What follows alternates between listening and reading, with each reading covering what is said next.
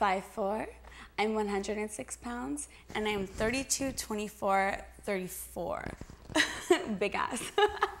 was in the church play, and I played Mary Magdalene. I'm from the Bay Area. I've lived all over the Bay. I've lived in like San Jose. I've lived in San Francisco. I've just lived all up and down the Bay Area for most of my life. I went to Christian school and I got so much trouble. I wanted to entertain. I wanted to be an entertainer. I really was really curious about my own sexuality. I was really like horny. I was really like always I wanted like like like a big dick inside me like, all the time. I don't really get approached that much. I'm serious. I watch a lot of porn. I, I watched it when I was really young.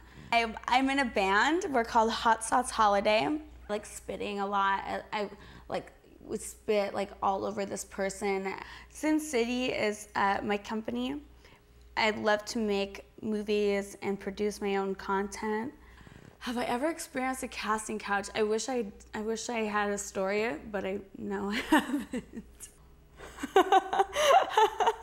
if it's a life-changing part, have I used my sexuality to get a job? Entertaining is a career for me.